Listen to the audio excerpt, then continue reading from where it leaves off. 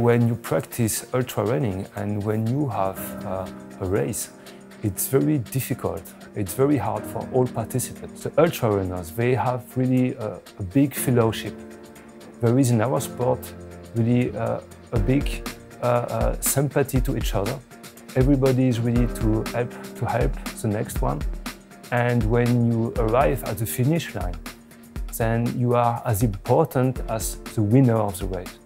And when I see now that I won this, this prize of Inventor of the Year, I have the same feeling. I don't feel actually like a winner.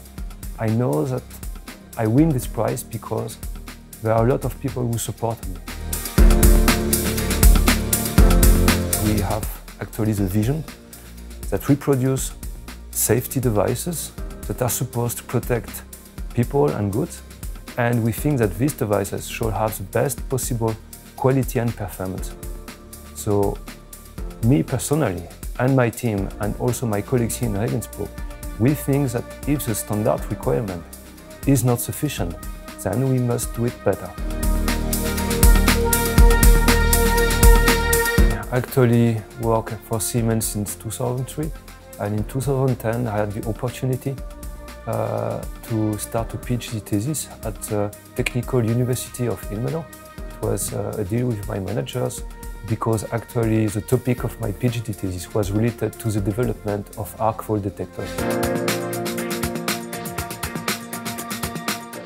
Most of my discoveries are actually program related. I didn't do a lot of discoveries, just starting from zero. So in somehow you have to, to go out of what I would call uh, your comfort zone. Not only do tasks inside your your domain of responsibility, but just to step out. And maybe on this complete planet, you are the first person to see this problem and to solve it.